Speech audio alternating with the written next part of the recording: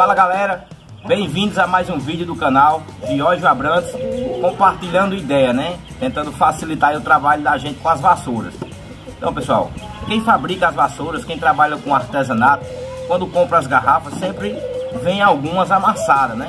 É no transporte que a gente amarra para levar, o volume é grande e sempre amassa algumas E fazendo aqui esse experimento com os nalhos, né? Para fabricação de vassouras eu tentei fazer com a garrafa PET ela está amassada, essa daqui não serve para fazer vassoura.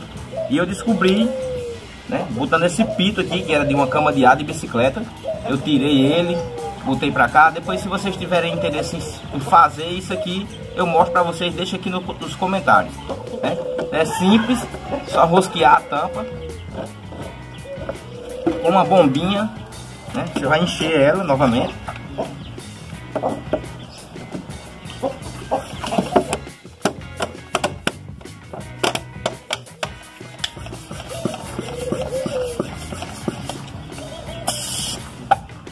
O ar não vai mais retornar.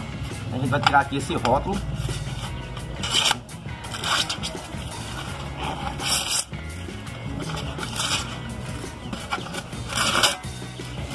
E vamos botar na água quente, né? Aproxima aqui, irmão. A água tem que estar assim, ela tá quase borbulhando, tá bem, bem quente mesmo. A gente vai botar ela aqui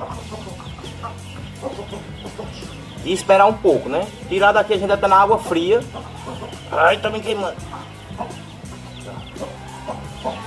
Vamos botar ela na água fria para ver o resultado agora. Me acompanha.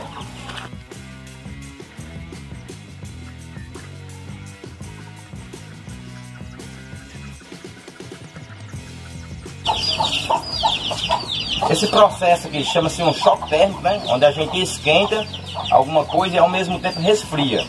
Então vamos ver para ver qual o resultado que vai sair, né? E está em perfeitas condições a garrafa, prontinha para ser reaproveitada.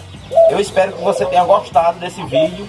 Se foi importante para você, clica no joinha, isso ajuda muito o meu trabalho. Se não gostou, deixa seu dislike aí, comenta alguma coisa que você quer ver no canal aqui. Se inscreva, ative as notificações. Deus abençoe sua vida. Que minha dica seja útil para você e facilite seu trabalho. Até a próxima. Se inscreva no canal de hoje. Abraço.